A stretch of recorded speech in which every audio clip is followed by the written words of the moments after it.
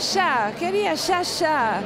Yo haría una gran campaña con un lema que es ni un chico ni una chica afuera de la escuela. Bueno, me parece que como las principales medidas educativas tienen que ver con profundizar las políticas de inclusión educativa que muchos países de América Latina se vienen desarrollando en los últimos tiempos. Uno podría nombrar varias medidas. Uno es extender aún más la jornada extendida, priorizando eh, zonas como el NEA, el NOA y el conurbano, podría ser una. Yo creo que pensar los dispositivos de inclusión social como la asignación universal por hijo, pensar dentro de eso un componente pedagógico más claro, más contundente, que permita un vínculo distinto de esos actores con la, con la escuela. Bueno, una medida educativa considero que para integrar en serio a nuestros pueblos hay que integrarse culturalmente. Yo creo que debe ser obligatorio el portugués desde las escuelas primarias o por lo menos desde las secundarias. Creo que la primera medida educativa que habría que tomar es revisar eh, fuertemente el régimen académico. Tenemos un régimen académico de una escuela del siglo XIX, en el siglo XXI, y fundamentalmente una escuela en el siglo XXI que considera la educación un bien público, un derecho social, donde queremos, y por ley es así en nuestro país, que todos los chicos estén en la escuela. A ver, a mí me parece que mm, Conectar Igualdad es un programa que es el programa de entrega de netbooks uno a uno en escuelas secundarias y especiales. Requiere que, digamos, se convierta en una política de Estado y requiere que se profundice como desafío a los próximos 10 años el trabajo adentro de la escuela, repensando en general qué es la tecnología. El gran desafío es convertirnos en productores de tecnología y no que la tecnología nos maneje a nosotros. Para eso es importante que la netbook sea muy trabajada con todos sus contenidos pedagógicos por los docentes, para que los chicos no crean, por ejemplo, que todas las páginas web son verdaderas, que nunca circula mentira por internet, que todos los videojuegos son fantásticos. ¿Por qué? Porque eh, internet, las páginas web y muchos juegos aún que se hacen offline están cargados de una cierta ideología que es necesario conocer para poder, digamos, em, adueñarnos de lo que nos da la tecnología. Me parece que tiene que ser garantizar que en las escuelas haya docentes, recursos humanos que estén cercanos, que estén integrados a los nuevos modelos de trabajo, al cambio tecnológico, a las novedades que hay en materia productiva.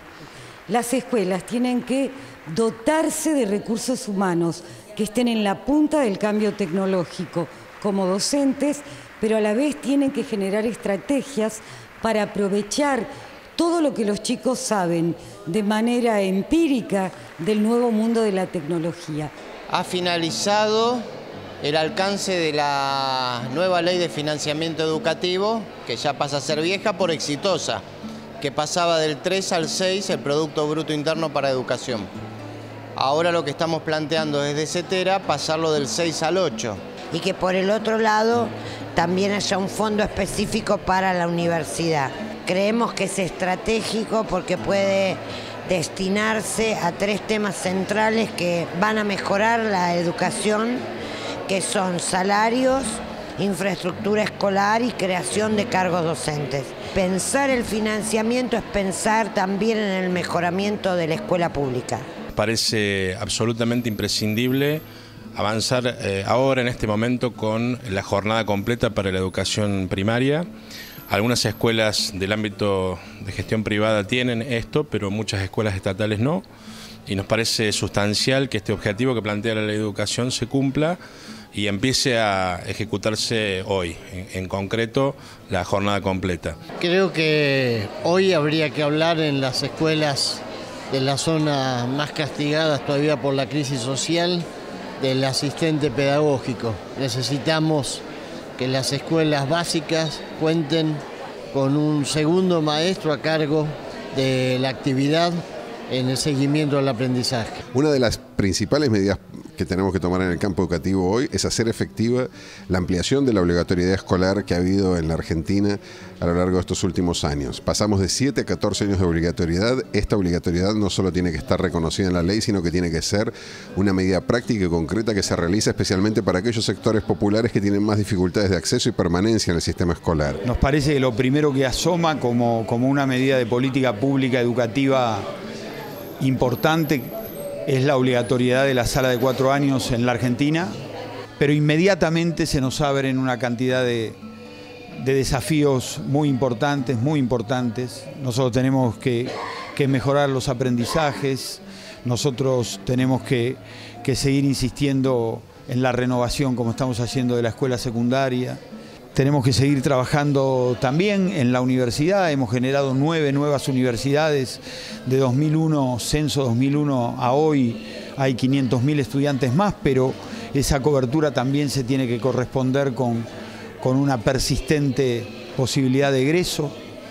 Eh, tenemos que seguir mejorando la infraestructura de la escuela, tenemos que hacer que, que todas nuestras netbooks se utilicen cada vez más con fines pedagógicos pero ese es un desafío que llega después de, distribuirlas, primero usted las tiene que distribuir.